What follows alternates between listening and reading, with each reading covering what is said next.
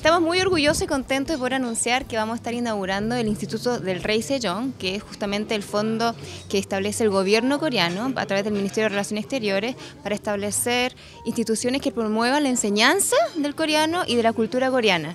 Y la Universidad, el Centro Asia Pacífico se ha adjudicado su instalación para Chile, en Santiago, y vamos a estar inaugurando el Centro Ojalá desde octubre sí, de este año y, las actividades van a estar abiertas justamente a estudiantes desde de enseñanza media hacia arriba y también para profesionales. Y tenemos contamos con un equipo de profesores que se desempeñaban en esta área de enseñanza del coreano para extranjeros con estudios de doctorado en estudios coreanos de hecho sí em, que, pues, hemos tenido la suerte de poder eh, contar nuestro equipo. Así que creo que va a ser una gran instancia para poder formalizar ¿no? y poder tener un canal institucional para la enseñanza de este idioma, que además es uno de los más interesantes y matemáticos y científicos del mundo. Así que invito a toda la comunidad de la Biblioteca del Congreso, ¿no es cierto?, a poder a informarse a través de asia.udp.cl.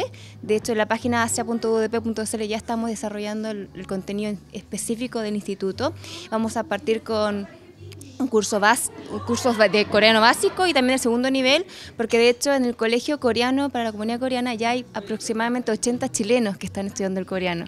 Y creemos que con el, con el amor por el K-pop, ¿no es cierto? Y lo que son las teleseries coreanas y el interés por la tecnología coreana y hacer estudios de magíster en Corea, vamos a estar aumentando los interesados en poder formalizar sus estudios en el coreano.